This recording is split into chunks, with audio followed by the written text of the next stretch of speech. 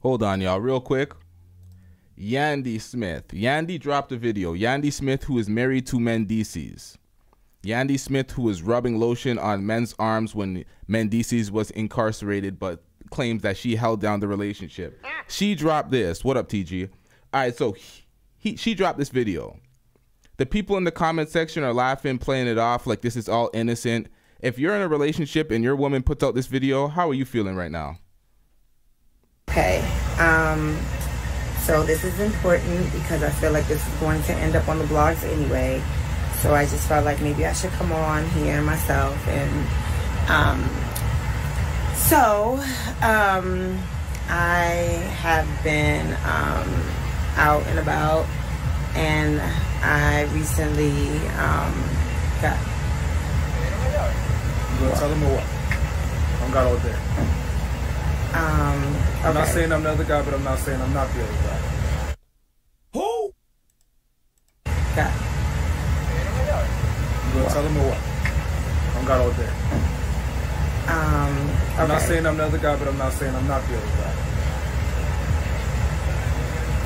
Um, all right. Well, that's certainly not how I felt like I wanted to tell everybody. But anyway, um, Say after the blogs. I felt like this was going to end up on the blogs anyway, so I just felt like I should be the first to put it out there Like so I I could tell my own story. Front page.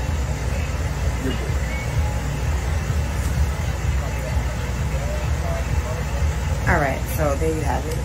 Um, yeah, I'm sorry, guys, if I let you down. Now, I don't know what type of excuse she's going to have for this one. But when they start joking around like that and bringing the side dude around like it's a goddamn joke, Oh, yes, the camera loves your nastiness.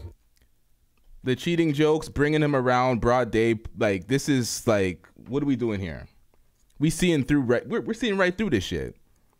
This is a type of oh we're gonna hide plain day, broad day, or we're working on a project or something, so we're gonna make it look this way. But once you're entering cheating jokes, you are not to be trusted at all. Man, you stupid bitch. Whoops, that was the wrong one.